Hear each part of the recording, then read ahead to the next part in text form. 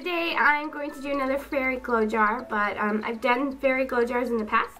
And so I decided that I was going to do the ultimate fairy glow jar, in which I'm going to fill up a jar full of glow stuff.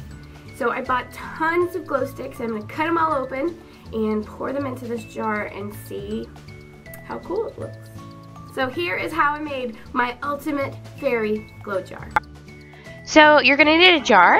Um, I'm not really sure what size yet because um, I just bought tons and tons of glow sticks.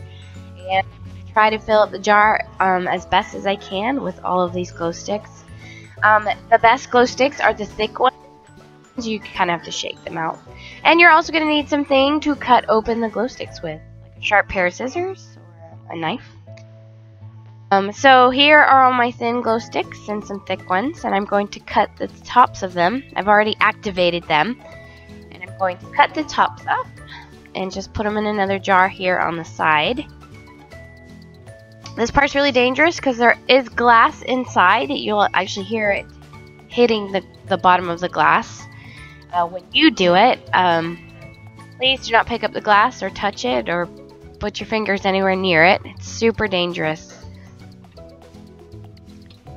And definitely, if you're under the age of 18, ask your parents to help you on this. Don't just do something crazy like this. The little ones, you have to actually shake them out. Um, so you just kind of like rattle them around the, um, jar. And you guys actually can't hear the noise that it makes, but it sounds really pretty. It's like ding, ding, ding, ding, ding, ding, ding, ding, ding, ding. So here we have the jar filled up halfway. There's lots of glow stuff in there and pieces of glass, of course.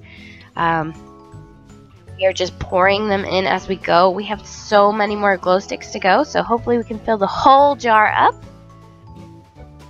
And we've turned off the lights, and this is the brightest glow jar I've ever made. It is so bright. The camera is not doing it justice right now. Um,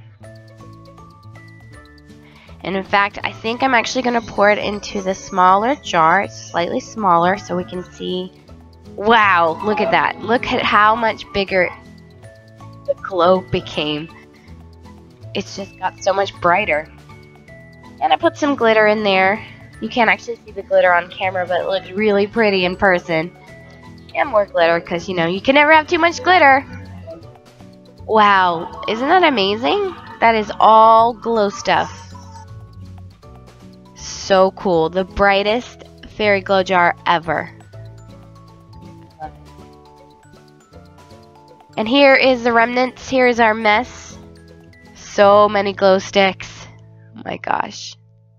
Crazy! Thanks for watching, guys. I hope you enjoyed seeing how I made my ultimate fairy glow jar.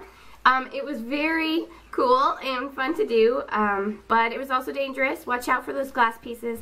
Make sure you ask your parents' permission before you do anything crazy like this, okay? If you're not subscribed to my channel, please subscribe. I have tons of craft ideas and fun things to do when you're bored. Bye! Bye!